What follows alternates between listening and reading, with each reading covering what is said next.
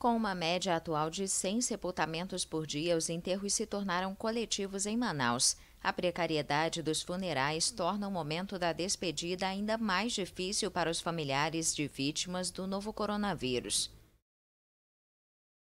Mas meu pai está sendo enterrado provavelmente um bicho, um bicho, né?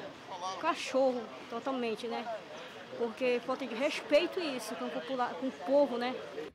Segundo o site G1, no domingo, a capital do Amazonas registrou o maior número de enterros desde o início da pandemia, com 140 sepultamentos. Diante do número elevado, o cemitério de Tarumã começou a enterrar os mortos em valas comuns, tirando das famílias o direito de se despedir como gostariam e de ver seus entes queridos em túmulos individuais.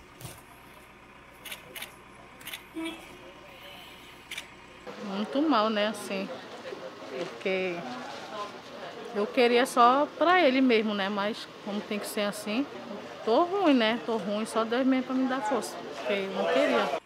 Ainda de acordo com o G1, a Prefeitura de Manaus informou que a demanda por sepultamentos desde o agravamento da pandemia de Covid-19 elevou a projeção para o próximo mês.